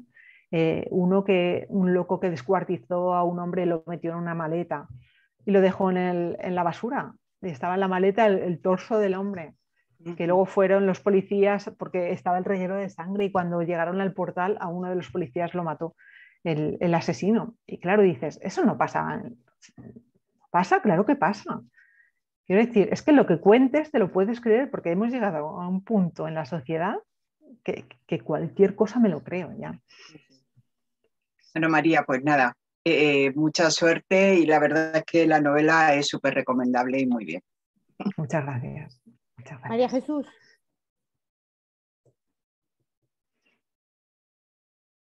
Hola María. Hola, buenas. ¿Qué tal? Eh, ante todo, felicitarte por, por esta pieza novela. Yo no soy una gran lectora de novela negra y no puedo decir si, si está repite muchos clichés o no, solamente a mí me ha tenido enganchada hasta la última página, incluso hasta el segundo epílogo que, que me llamó muchísimo la atención que eh, oscurecieras la primera letra de cada capítulo en el índice. Dije, mm, esta mujer. Bueno, eso. Pues eso, ya está, se acabó. Ya está. ya está. Eh, usas muchísimos eh, traumas. Valencia, tú mismo las has mencionado en varias ocasiones, tiene una, una aura muy de gente retorcida eh, que pasan muchas, las niñas de Alcácer, eh, todo lo que, lo que ha estado, la de la maleta. Eh, y has mencionado mucho el tema de los niños perdidos y cómo quedan las, familias. Entonces me has remitido en ese momento a Ana, a su obsesión por encontrar al hermano y todo. ¿Conoces a alguien o te has documentado directamente con, alguien para eh, transmitir también, por lo menos yo lo he sentido así, eh, el dolor eh, que transmiten algunos personajes con todo lo que les ha pasado en su vida? No, no, no de primera persona no conozco a nadie que le haya ocurrido. Eh, sí que conozco varios casos porque los, he investigado por internet, hay casos eh, que están ahí, ¿no? que, sí que existen, pero realmente no, no, conozco, gracias a Dios, te lo digo, a nadie que le haya ocurrido. Y es verdad que, claro, depende de cómo la persona que le ocurra, como en todo, pues te lo tomas de una forma o te lo tomas de otra.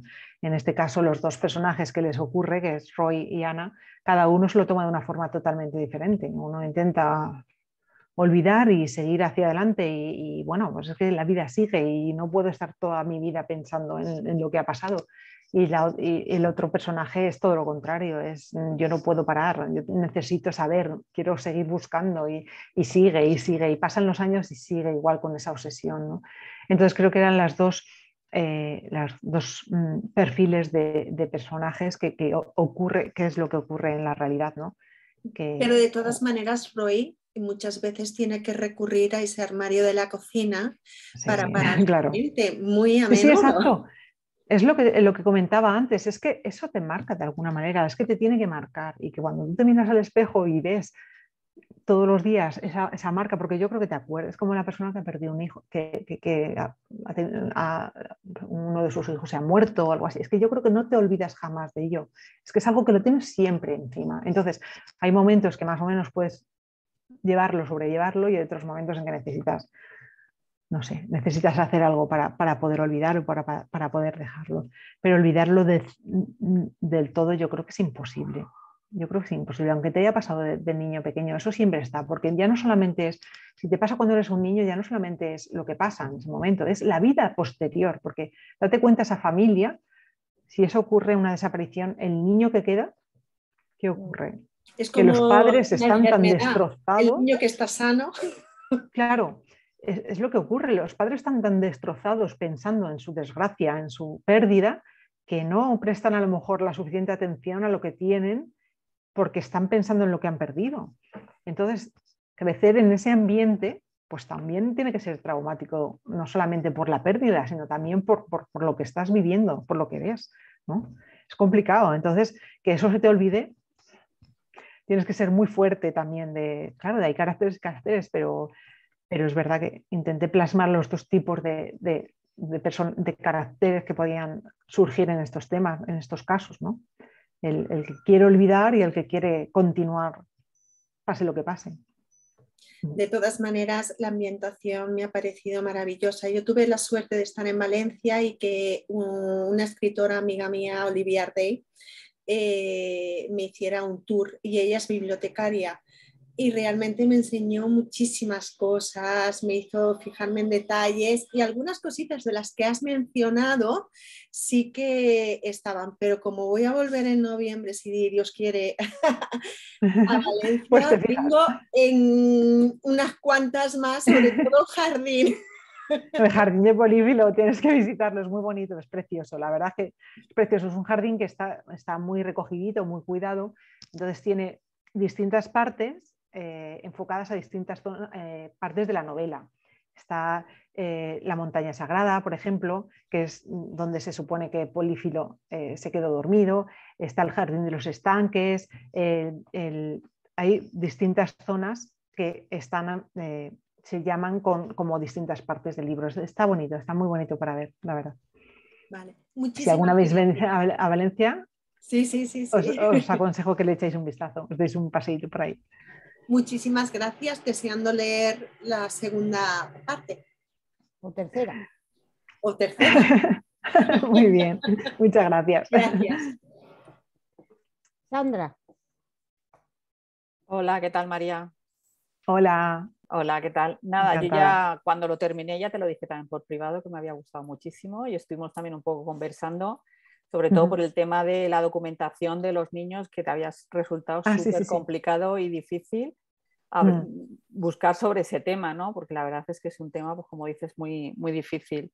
Eh, Pedro te ha preguntado si has leído mucha novela negra y yo te quería preguntar si vas a seguir escribiendo novela negra o tienes en tu cabeza alguna otra novela diferente de otro género o es que te tira totalmente este género. Es que me tira. tira, ¿Sabes lo que pasa? Que yo creo que tienes que escribir de lo que de verdad te apetezca, o mm, en lo que de verdad te sientas cómoda porque si no, no funciona. Y realmente es verdad que es el género que más me gusta, el género con el que más disfruto, porque siempre necesito que haya un componente de misterio detrás, ya aparte de la parte oscura y negra, que también, porque es una forma de, retratar la sociedad que tenemos, porque realmente la novela negra al final es una, la novela negra pura es una crítica ácida de la sociedad en la que vivimos, ¿no? Entonces, aparte de eso, de intentar llamar la atención de alguna manera del lector para, abrirle los ojos ante ciertos temas concretos, temas oscuros, ¿no? que, están ahí y que no hay que olvidar que están ahí, porque, porque realmente es que la vida es así, aunque la novelemos y construyamos novelas, pero al final todo eso está ahí detrás. ¿no? Y es verdad que aparte de eso, lo que también me gusta mucho es que haya un misterio de resolver, ¿no? ese puzzle cuanto más piezas tenga, más me gusta ese puzzle que, hay que montar y que, vayas encajando las piezas en tu cabeza y cuando acabas la lectura, cierras el libro y dices, es verdad, he encajado la última pieza y que bien ha encajado, ¿no? Eso es lo que a mí me encanta como lectora y también, pues, eh, eh, eh, lo que quiero hacer cuando, cuando escribo, ¿no? Entonces no creo que escriba algo que no sea novela negra. Es verdad que he escrito algunas que no son tan negras, son más grises, si quieres llamarlo como, como quieras decirlo, pero, pero siempre va a haber algo, siempre va a haber algo seguro, porque es que es, lo que más me gusta. Pues si es con lo que te sientes más cómoda, desde luego continúa, porque lo haces fenomenal. Este jueves vienes aquí a Alicante, a Alicante ¿no? que está, o sea que tenemos un encuentro, como empieza a las 5 y tú empiezas a hablar a las 7, intentaré Ay, genial. estar, en los dos sitios a la vez, o sea que nada. Si no, pues nada, a ver si nos llegar un poco más tarde y que me firmes el libro, seguro que me lo llevaré y nada, te saludaré por allí. Muchas gracias. Gracias. Bueno, eh, María, tú dices que eh, solo lees novela negra. Yo no, solo no. Solo no. Prácticamente es que es lo que más me llama. Bueno, pero yo creo que además de leer novela negra, deberías leer ah, eh, novela romántica de nuestra escritora María José Vela, que está aquí, porque te lo vas a pasar bien, vas a desconectar, vas a desestresarte y te vas a reír.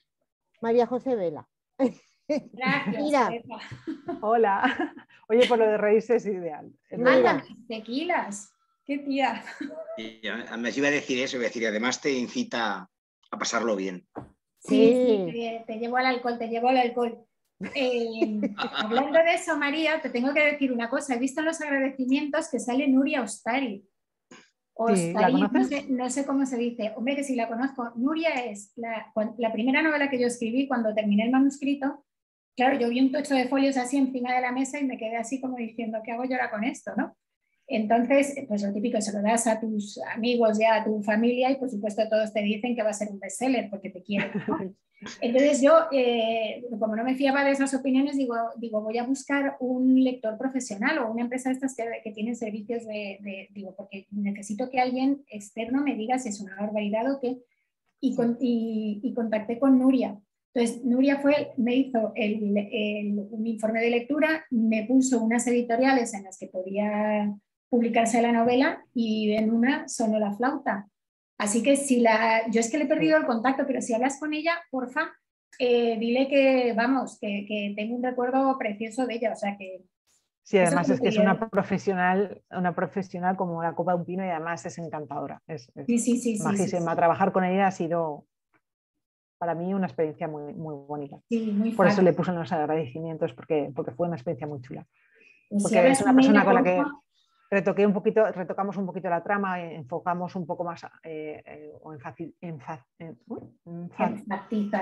enfatizamos más en, algunos, en algunas partes de la trama y otras las, las, suavizamos un poco, trabajamos un poquito en eso, ella y yo.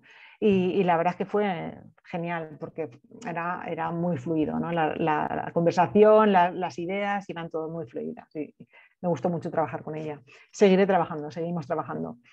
Pues sí, sí, pues dale, dale recuerdo. Si hablas con ella, bueno, no se acordará de mí, te estoy hablando del año 2014, fácil o por ahí, ¿sabes? Pero, pero bueno, dile que hay una lectura, una, una escritora a la que ayudó que se sigue acordando de ella. ¿Vale? Muy bien. Eh, bueno, me han quitado dos preguntas, que era la que me ha quitado Tere de la historia de amor y la, una que me ha quitado Gema, que es que yo parecía, me, me daba la sensación de estar percibiendo ahí una una policía científica de vocación eh, entre líneas. Em, pero ahora has dicho una cosa que me ha hecho pensar. Acabas de decir que la novela negra es una crítica ácida a la sociedad y, yo creo que es verdad y tú lo, lo, haces muy bien con los temas que tratas porque son todos, o sea, es prostitución, niños eh, eh, o adopciones ilegales, los experimentos farmacéuticos. Y al final siempre son, si te das cuenta y lo ves en conjunto, siempre son los débiles.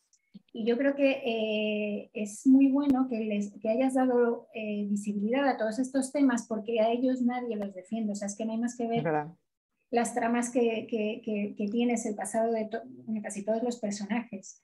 Y, y, yo eso creo que, creo que es una cosa que está muy bien lograda.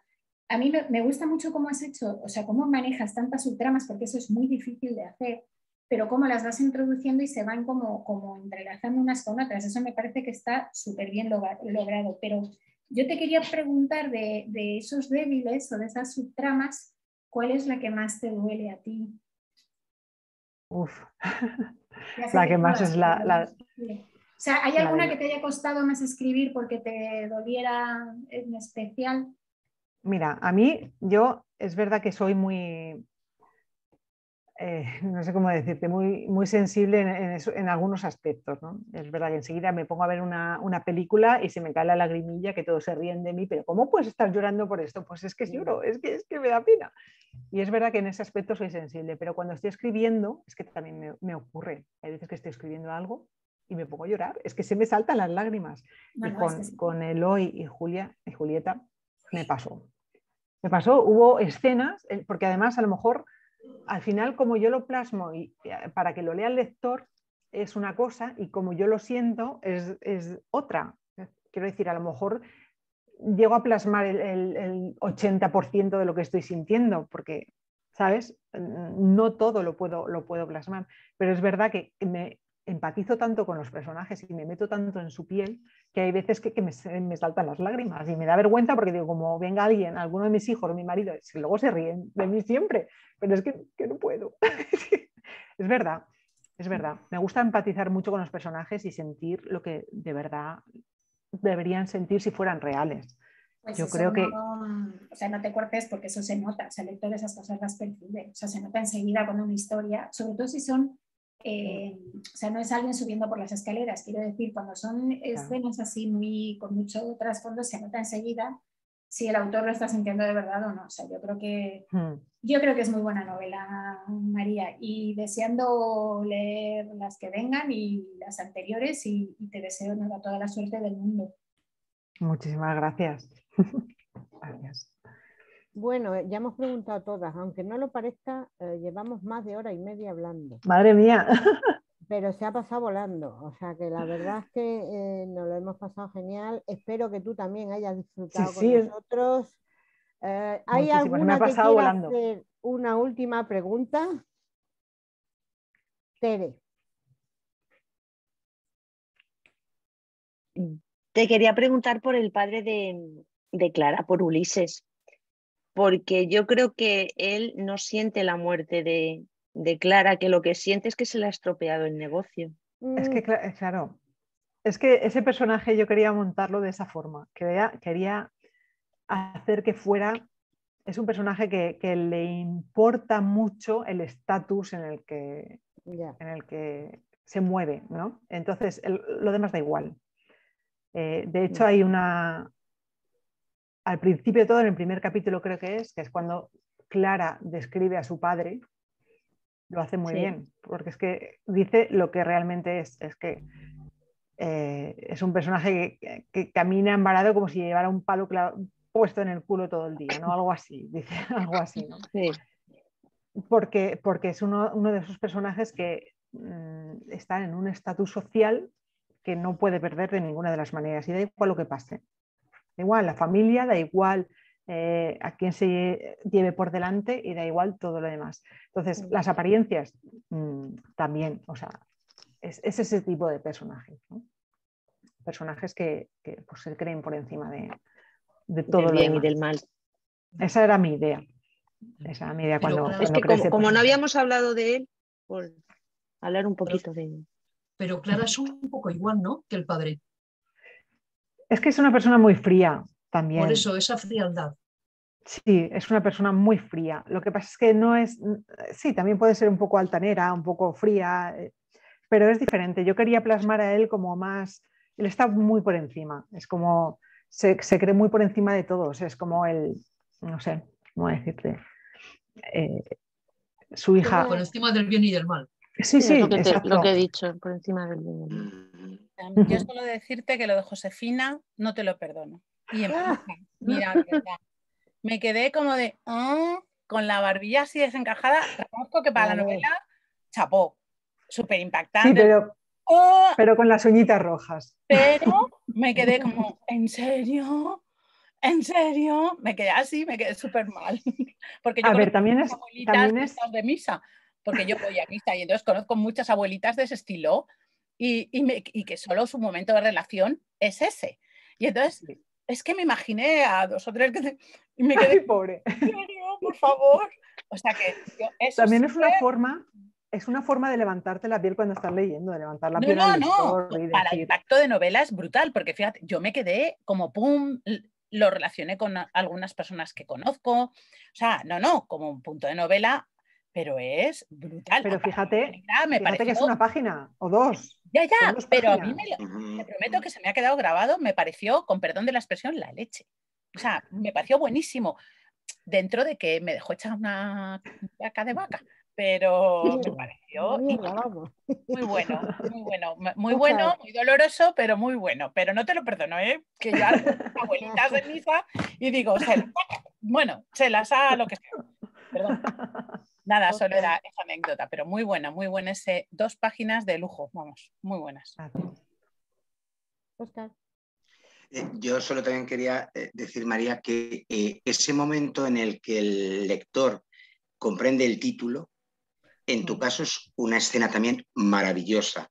Pero si mm. no, no contenta con eso, vuelves a retomarlo un poco después y aún lo mejoras. O sea, el, mm. momento en el que uno comprende por qué el libro se llama como se llama es de lágrima. También coincido con Belén con lo otro también, pero con eso es decir, Dios mío, qué escritora, o sea, gracias. Es que ese momento es brutal también. Yo es que creo que el título es súper importante en una novela. De hecho, mis otras novelas también tienen títulos es un poco extraños a primera vista que dices, ¿por qué? Es que huérfanos de sombra, ¿eso qué es? Claro, pues pasa lo mismo que con lágrimas de polvo rojo. El color del perdón también tiene su...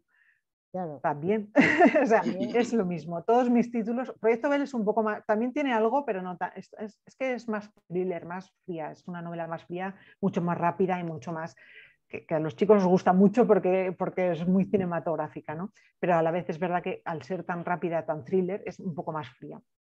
Y el título no es tan, tan emocional, ¿no? pero es verdad que en, las otras tres el título siempre tiene algo. Es una de las cosas más difíciles que yo creo que, para mí, a la hora de, de, escribir una novela, aparte de escribir, elegir un título bueno me parece dificilísimo y es lo que más me cuesta. Pero es verdad que cuando, cuando la escribí, siempre lo hago un poco al final, elegir un poco el título al final. Y tenía varios, varios títulos pensados, pero en una de las revisiones de la novela es que llegué a esa escena y dije, pues es que es este, este es el título, es que tiene que ser este. Y es verdad que lo dejo, este es el, definitivo. Y, creo que, pues eso, que, al lector le gusta saber por qué, ¿no? Y además no creo que lo averigüe nunca, porque ya puede hacer lucubraciones que no va a averiguar por qué es ese título. ¿no? Y que llegar, hay que, llegar a esa página. Claro, y hay gente que me ha dicho, pues que es un título un poco raro, no tiene mucho... Lee el libro, lee el libro. Claro, pero es que ya lo verás, exacto, cuando lo leas. Menos con la portada que aparece en las dos manos. Parece que va dirigido hacia otro, otro, mm. otra trama que tiene el libro. O sea que... Mm. Bueno, la portada, no hemos hablado de la portada. La portada está genial. Es, eh, yo creo que lo primero, lo primero que nos ha impactado, yo cuando, por lo menos cuando la vi, lo primero digo, uy. Mucho. Yo soy mucho de fichaje por portadas. Sí, es que es lo primero que llama. Lo ves y dices, me lo llevo a casa. es que claro, hay tanto, tanta novedad que sale diariamente de lectura y, y tú vas a una librería y te ves todas en una estantería y dices, ¿cuál elijo? Es que si no hay una que te llame la atención visualmente, pues luego a lo mejor no te gusta, pero si visualmente ya te llama la atención y la coges y te interesas, pues a lo mejor dices, yo lo único que les pedía a Maeva en este, en este sentido es que por favor no me pusieran la típica portada de un edificio y una ah. persona, una mujer de espaldas. Eso lo pedí, porque es que hay muchos. es que hay muchas. Que no dicen nada realmente. Es que, ¿qué te dice eso? Bueno, el edificio donde está ambientada la novela, sí, seguramente, pero una mujer de espaldas. Eh, no sé, solo dije eso, por favor, eso no, poner lo que queráis, pero que, no sea algo así. Y yo creo que está, está acertada la novela, está, la, portada, está chula. Está acertada la, portada y la novela. O sea, sí, si os fijáis en la esquinita, hay parte, en la esquinita derecha hay una parte de manuscrito del libro. Mm. Sí. yo hubiera pedido que se, que se, viera un poco más esa parte del manuscrito, pero bueno, al final quedó así. Pues, pues ha sido un placer, María. Igualmente. Ha sido un placer, o sea que como te decía antes, espero que te lo hayas pasado bien. Nosotros nos lo hemos pasado bien ahora contigo hablando, hablando de la novela y leyéndola, que es, muy importante también. O sea que, eh, bueno, ya verás, ya has visto algunas reseñas, pero bueno, yo las repostearé y tal, pues en, en la página del Club de Lectura y, también en la, en la, página del Club de Lectura de Facebook, de Instagram y de Twitter, ¿vale? Porque todas tienen ahí. O sea que lágrimas de polvo rojo se va a ver mucho, muchísimo. pues nada. gracias. Me ha pasado el tiempo volando, ¿eh? Bueno, nosotros también. nosotros también. claro, cuando estamos a gusto es lo que pasa. Mm. Esperamos que algún día te veamos. La mayoría estamos en Madrid, aunque hay alguna que va a ir a verte mañana. Pues el día 8 estoy en Madrid. Eh, el día 8 de octubre. lo veréis luego por redes, pero el día 8 de octubre estaré en Madrid firmando. Anda. Ay, el día 8 no, estamos. Es sábado sábado. Ah, pues yo sí estoy. No estamos porque nos, pues vamos a, nos vamos al certamen internacional de novela histórica de Úbeda, algunos. Ay, Jolín, pues bueno, seguro que ahí estás fenomenal. Ya, ya ah. os encontraréis otro día. seguro que sí. Y en pues Salamanca estoy el 11, o sea que bueno, el 11, el 11 no, no estamos, estamos aquí. estamos aquí. Yo, voy con, yo estoy con Chusa en Valencia en noviembre, o sea que a ver si podemos localizarte y nos fumas el libro. Ahora que vamos a dar claro, claro, venga. Quedamos, y el próximo vuelo de Belén. Un café. Yo intentaré ir el día 8 aquí, aquí en Madrid. Ya veré dónde es y intentaré. Vale, sí, lo pondré por redes también. Es que es un poco pronto, pero cuando se acerque la fecha lo pongo, lo pongo. Vale. Está bien. Muy bien. Pues aunque ella se vaya un beso enorme, se queda un enorme, María, y hasta pronto. Igualmente. Gracias, María. Gracias y date prisa con nuestros chicos. Date prisa, anda. venga, venga. Pondremos empeño. Muchas gracias, cariño. Adiós. Gracias por todo. Adiós. Adiós.